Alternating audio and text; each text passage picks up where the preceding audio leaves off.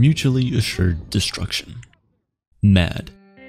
These three terrifying words have somehow been the source of relative peace in the world for close to six decades.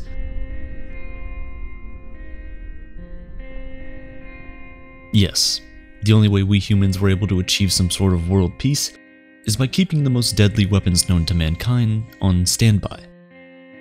Regardless of the irony, however, it is indeed true that these weapons have induced a sense of restraint to geopolitical tensions, at least as far as the major powers are concerned. That is, of course, until about a month ago when Russia's invasion of Ukraine began. Any country intervening with the invasion will have, and I quote, consequences that you have never faced in your history, said Vladimir Putin. We are ready for any outcome. Of course, he isn't really referring to any outcome. He is only referring to one outcome that of nuclear war. You see, up until now, the policy of mutually assured destruction had been working well. The fear of death provoked prudence, not war. Now, instead of acting as a deterrent, which was the original goal anyway, the prospect of nuclear war is giving dictators the ability to act with impunity. Vladimir Putin can do as he pleases so long as he has the red button in his hand. This comes nearly three decades after Ukraine voluntarily removed its nuclear arsenal, the third largest at the time after the United States and Russia, in exchange for security guarantees. Countries that guaranteed that protection was the United States of America, the United Kingdom, and Russia. That's worked out pretty well, hasn't it? The security guarantees that were thought to have been ironclad were nothing more than some signatures. The recent events are setting precedents, not just for dictators to do as they please, but also for countries who might have previously considered denuclearization. Even without nuclear weapons, this recent chain of events will lead to a remilitarization across Europe and the rest of the world. The average military spending had actually been going down across Europe for the past 10 years. Now, with the injection of military spending from Germany, countries across the world will be looking to prioritize military spending using money that could have gone to schools, healthcare, or really just any other form of infrastructure. This also leads to the realization that the rest of the world is no longer as comfortable with relying on Russia for oil and gas as it was just a month ago. Germany, in addition to bolstering their military, has also accelerated their plans to move to renewable sources by 15 years. While self-sufficiency in the move towards renewables is always a positive thing, it is not realistic to expect most countries to transition so rapidly. Inevitably, solar, wind, and hydroelectricity will not be sufficient to meet all of these demands. Some will take the nuclear turn. This is not to say that having nuclear power plants is going to end humanity. In fact, the fear of consequence has so far meant that the nuclear power plants are quite safe. But Russia has attacked nuclear power plants in its invasion of Ukraine. It does not take much to realize that these power plants themselves are very high priority military targets, especially during war. The United States conducts what it calls force on force drills on all its nuclear power plants every three years, since an attack on these plants could lead to widespread contamination of the community nearby. Ironically, the United States and Israel have actually devised a computer worm Stuxnet to corrupt the uranium enrichment facilities in Iran. It's not hard to foresee a similar attack on other major powers. And when that happens, what would you bet on not to fail? The cascading set of events from last month's invasion are making peace look more like an ambitious target rather than our reality.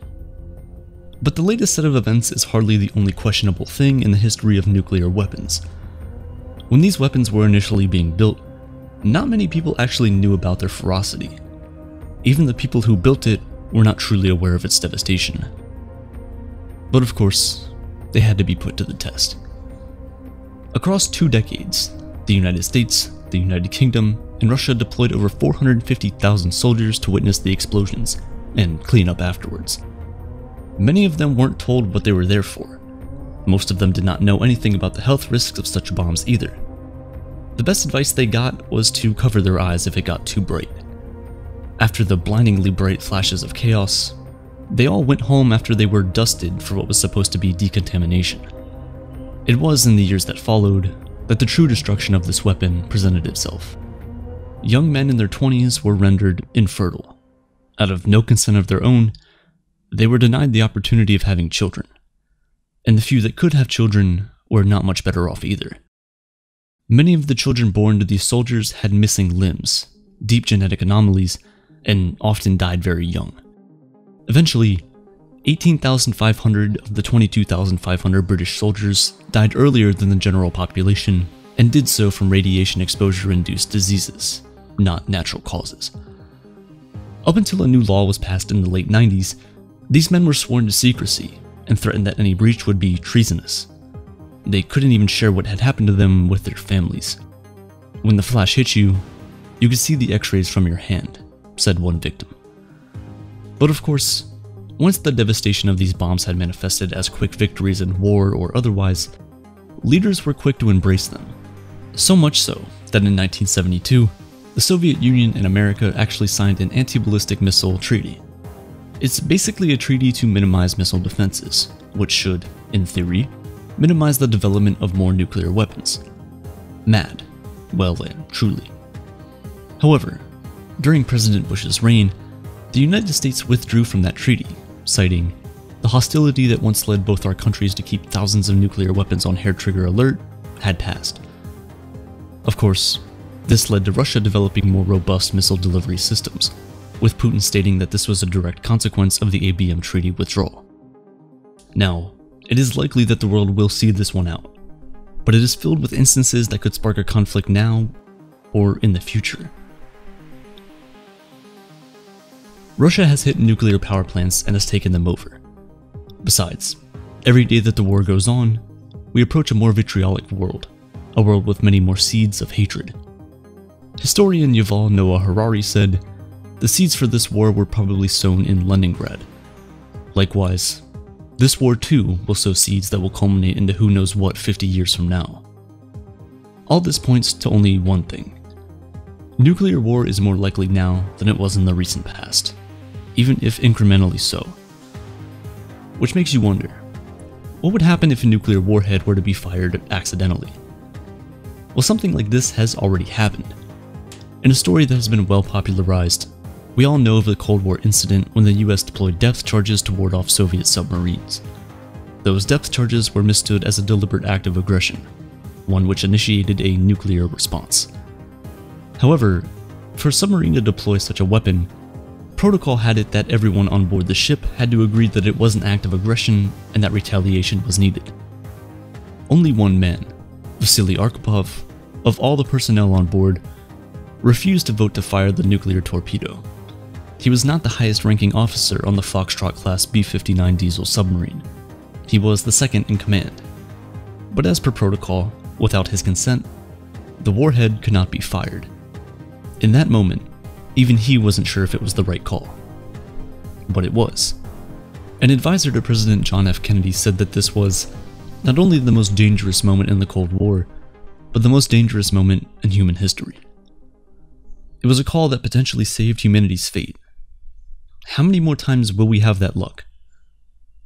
One more time at least, it seems. Nearly two decades after the Cuban Missile Crisis, Another malfunction triggered early warning systems in the Soviet nuclear monitoring systems. Of course, at the time, the duty officer at the command center outside Moscow, Colonel Stanislav Petrov, did not know that it was a malfunction. All he could see was that five intercontinental ballistic missiles had been fired from American bases. In a matter of minutes, he started contacting his superiors, who were almost certain to order a retaliatory attack. Colonel Petrov had an instinctive feeling that this was not it. This couldn't have been. Upon later questioning, he said, When people start wars, they don't just start them with five missiles. The siren howled, but I just sat there for a few seconds, staring at the big, backlit red screen with the word launch on it. It was that judgment call that probably saved humanity. For a little while longer, at least. But of course, we do learn from our mistakes, and the major powers, especially the United States and Russia, agreed that never again should the fate of mankind be decided on some 50-50 signal of aggression. This one piece of information has to be as unambiguous as it can be. That led to the creation of the famous Red Phones.